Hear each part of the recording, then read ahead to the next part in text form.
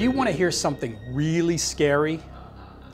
Up to 70% of pilots who've experienced a wire strike during aerial spraying operations knew the wires were there, but hit them anyway. So what gives? If you think pilots who hit the same wires after successfully avoiding them must be blind, then you're on the right track. If you think your flawless vision alone would prevent you from making the same mistake, then you have a lot to learn. But don't take just my word for it. Robert Feerst, president of Utilities Aviation Specialist, has over 40 years of experience in utility flight operations and training. His company is on a mission to ensure that every pilot is keenly aware of the low altitude flight hazards and the proven tactics they need to survive and thrive in that environment. When I asked Bob about the primary message in his training, he emphasized that there's a science to all of this. Stating, if you rely only on your vision to stay clear of wires, you're an accident waiting to happen. He described human factors and visual illusions often at play, things like short-term memory loss, wire blindness, and terrestrial association.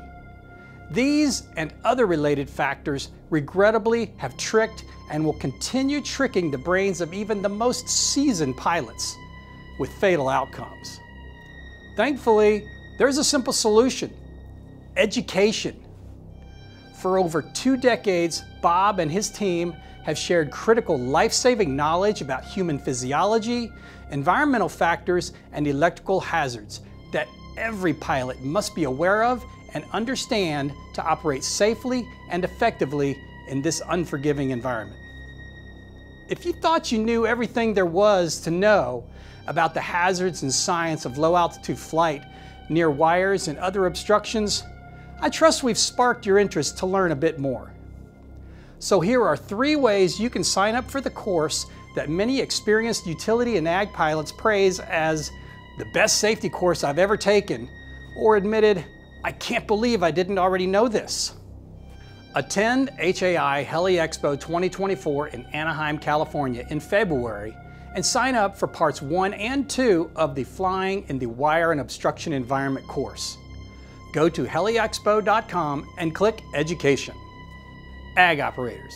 Attend NAAA's 2023 conference in Palm Springs, California in December to complete the same course tailored to the ag operator community.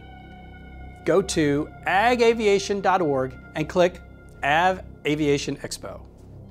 Or finally, go to the source itself, Utilities Aviation Specialists, to check out all of their courses, including an online version of the Flying in the Wire and Obstruction Environment and Crew Resource Management course.